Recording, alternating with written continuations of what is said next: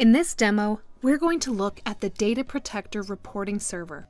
Here, you can see the administrative console. The new reporting server has been introduced into the Data Protector dashboard. Here you will find an overview of clients, capacity licenses, devices, and telemetry information. You'll also find different schedules executing and this new item down here called Reports. The reporting server is imported into the Data Protector dashboard. The actual activity is done on a separate machine, usually a virtual machine, that is doing the number crunching.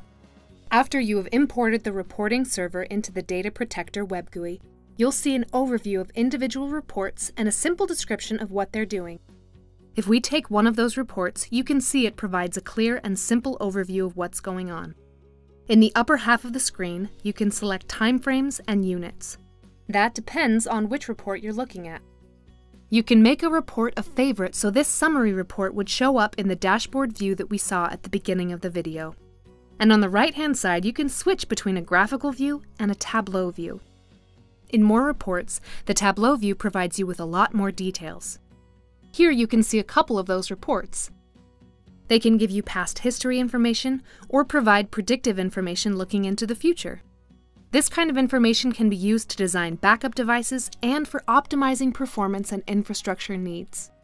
Here there is a section called Session in Timeframe, where you have certain information about client statistics, device utilization, session status, and so on. All of the information items can be seen in a graphical view and a Tableau view. As mentioned, if you look at this report, it provides you with more detailed information in Tableau view. But of course, that depends on your needs.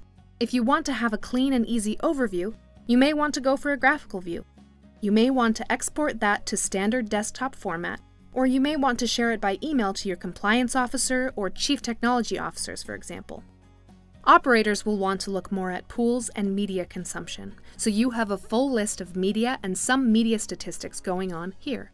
This is less important if you have virtual tape libraries running but sometimes media or information is exported to external tape or maybe even into the cloud. Of course, you will want to know where your data is and manage it.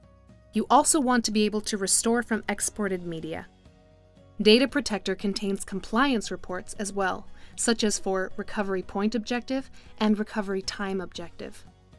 All the backups done are then measured against your settings and all the individual backup specifications will report in this view. On the right hand side, it actually provides you information as to whether the status has been met or not. If it wasn't, you may want to look into certain backups to find out why. Is it too slow or were there other issues?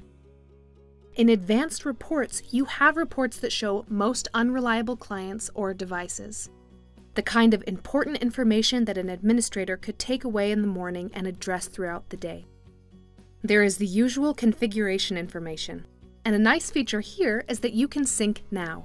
If you want to have up to the minute reports, you sync now before creating the reports, giving you almost real time data, and you can, of course, define the retention policy for reports and data retention.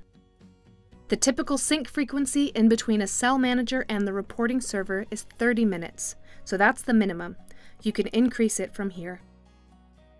You also have data about the standard outgoing emails, if there are error messages coming up, etc.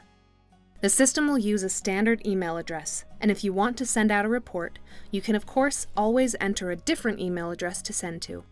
You can change the email port, and you can also export and import configuration information. It is important to make sure that your report information is saved so you can restore it if needed. In RPO and RTO configuration, you can set those RPO and RTO values that I've shown you before.